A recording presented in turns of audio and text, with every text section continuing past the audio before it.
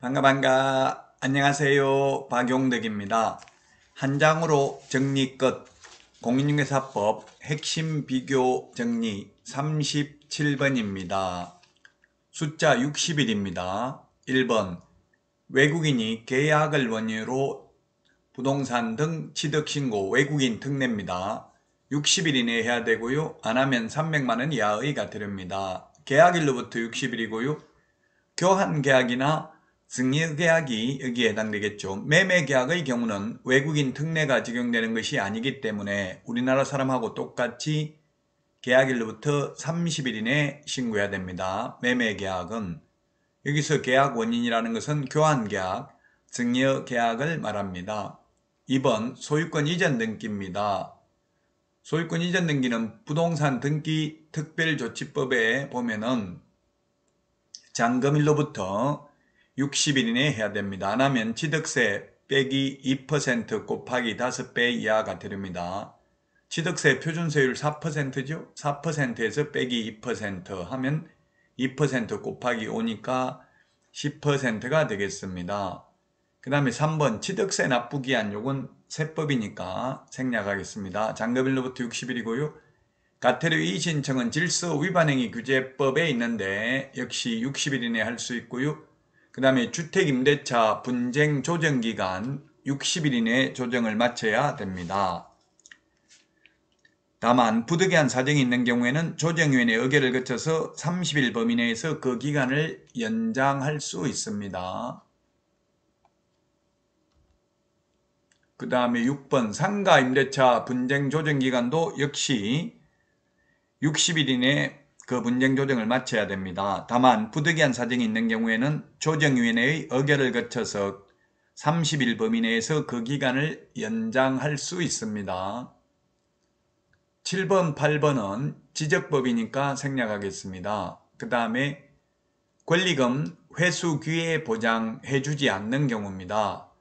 국유재산이나 공유재산, 국가 소유부동산, 지자체 소유부동산 예를 들면 서울 강남 고속버스 터미널 지하상가 이거는 공유재산이죠. 개인재산이 아니고 또 뭐 인천 부평 지하상가 주안역 지하상가가 있습니다. 대구 바늘땅 지하상가 부산 서면 지하상가 남포동 지하상가 있는데요. 이런 지하상가는 권리금 회수기에 보장 안 된다는 것 유념하셔야 되겠습니다. 그 다음에 대규모 점포, 준대규모 점포, 즉 백화점 할인 매장 이런 경우는 권리금 회수기에 보장 안 됩니다. 백화점 같은 경우는 한 달에 두 번씩 매장 위치를 바꾸죠. 권리금 회수기에 보장 안 되고요. 단 전통시장의 경우에는 준대규모 점포 또는 대규모 점포라도 제외된다 이 말은 권리금 회수기에 보장된다는 이야기입니다. 전통시장은 그리고 1년 6개월 이상 영업용 건물로 사용하지 아니한 경우에는 권리금 회수기에 보장해 줄 필요 없습니다. 기, 기존 세입자, 현 세입자가 1년 6개월 이상 영업용으로 사용하지 않았거나 또는 임대인이 세입자 내보내고 앞으로 1년 6개월 이상 영업용 건물로 사용 안 하는 경우도 가능합니다. 그 대신에 세입자 내보낼 때 앞으로 1년 6개월 이상 영업용 건물로 사용하지 않겠다고 말해야 됩니다. 권리금 분쟁 소송 중이다가 어차피 소송하는 동안 1년 6개월 동안 새로운 세입자 못 받았습니다. 그런 경우에는 권리금 회수기에 보장해 주어야 한다는 게 판례입니다.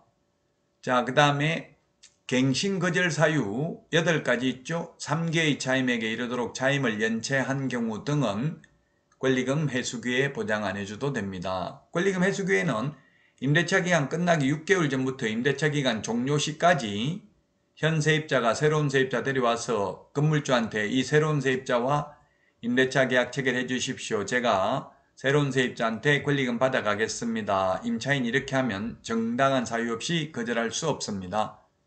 그리고 전차인의 경우, 전대차 계약의 경우 전차인은 권리금 회수 기회 보장받지 못합니다. 전차인이란 임차인이 다시 세를 놓으면 그 임차인한테 임대차 계약을 체결한 세입자를 전차인이라고 하죠.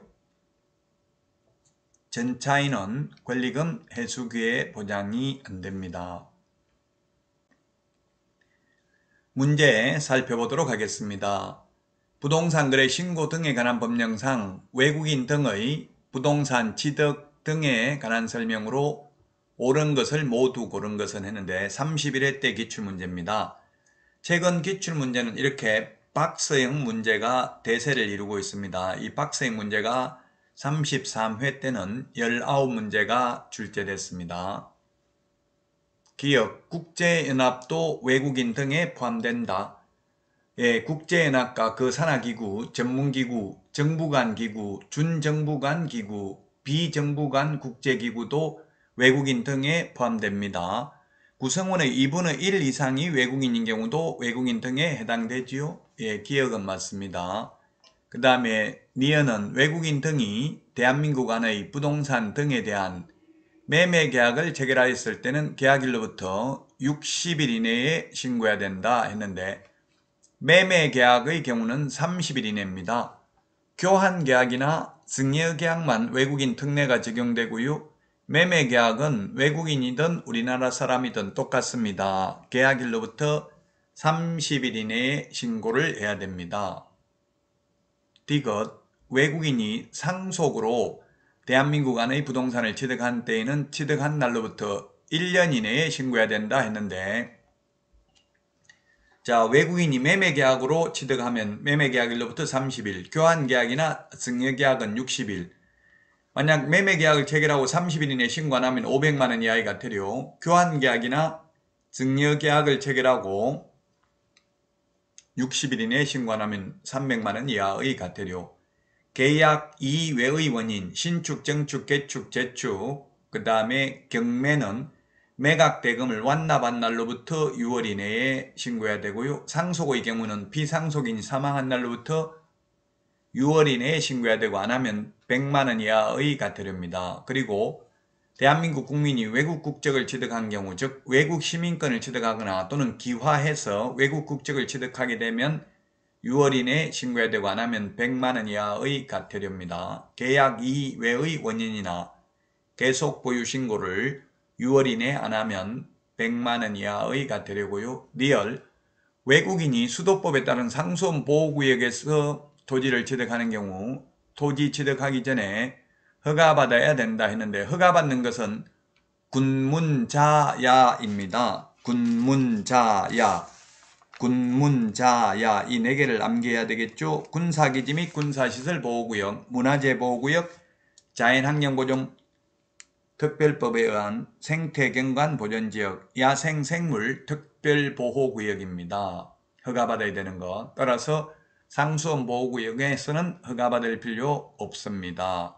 따라서 옳은 것은 1번이 정답이 되겠습니다. 외국인 등의 용어 정의에 대한 내용이 되겠습니다.